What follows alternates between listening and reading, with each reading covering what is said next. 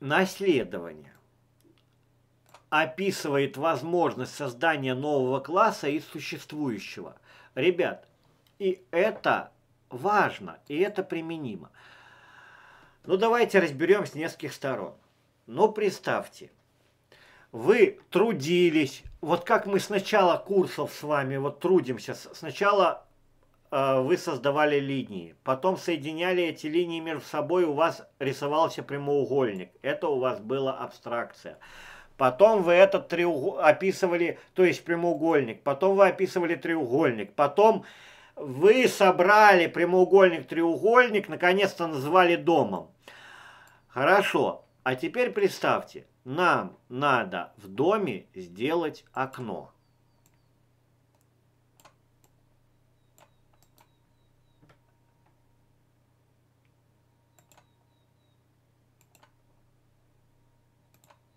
Окно. Скажите, пожалуйста, готовы ли вы чтобы сделать в доме окно, снова сесть за эту рутинную работу. То есть, грубо говоря, взять и написать опять дом с нуля. Опять писать, что одна линия плюс вторую линию, плюс третью линию, плюс четвертую линию. Потом назвать это прямоугольником. Потом обратно на, э, создать треугольник, потом создать прямоугольник и треугольник, потом назвать это домом, а потом добавить окно. Это было бы глупо и рутина. Вот именно поэтому и создали класс. Класс описать нечто новое. То есть нам не надо, чтобы вставить окно, брать и вписать все по-новому. Мы просто создаем новый класс.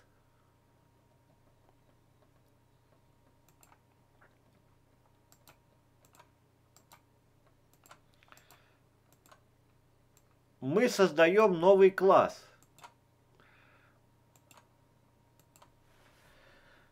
И называем его, и называем его Home Device.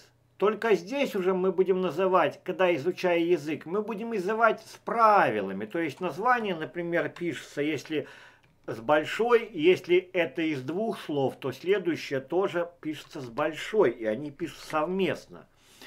Это принято, просто такое правило, и мы эти правила изучаем.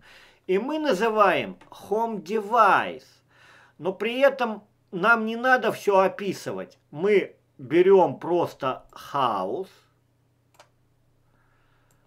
было правильно назвать, это сейчас базы хаус. Мы берем предыдущий наш класс, который описывал построение дома, и просто-напросто вбиваем его как параметр.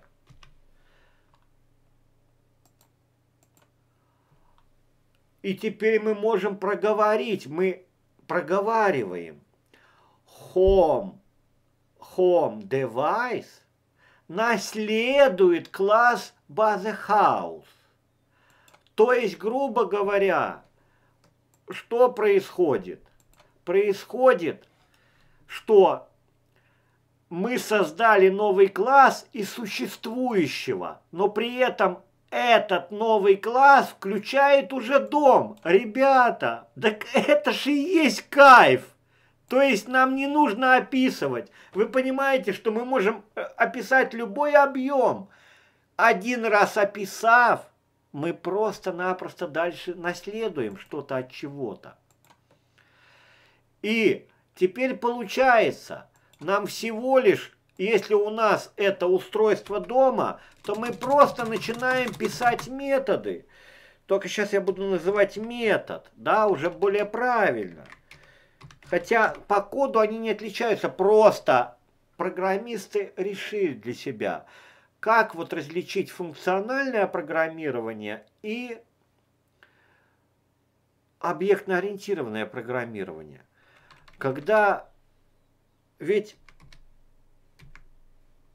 допустим, в Python и там, и там dev, но они решили, что когда функция, это понимается функциональное программирование, то есть опять же, маленькие программы без класса. Когда в пределах класса это будем называть, они решили, метод.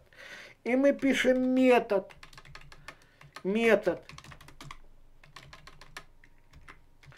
Метод.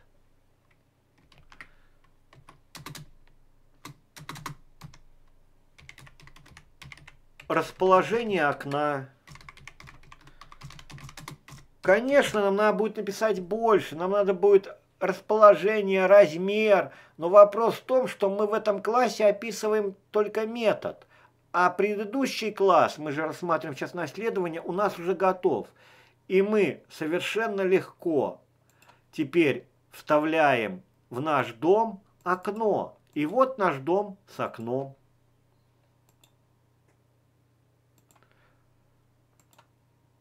Все, готово. Просто, просто. Таким же способом мы описываем второй метод. Например, дверь.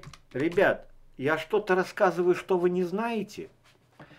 Я понимаю. Вот это вас путало, ребята. Ведь в жизни вы приходите к себе домой. И жена говорит, давай приделаем веранду. Вы ж не идете делать следующее. А, веранду, значит, идем, строим новый дом и к ней приделаем веранду. Нет, вы просто про проделываете, как это, не дырку, а, я не строитель сейчас.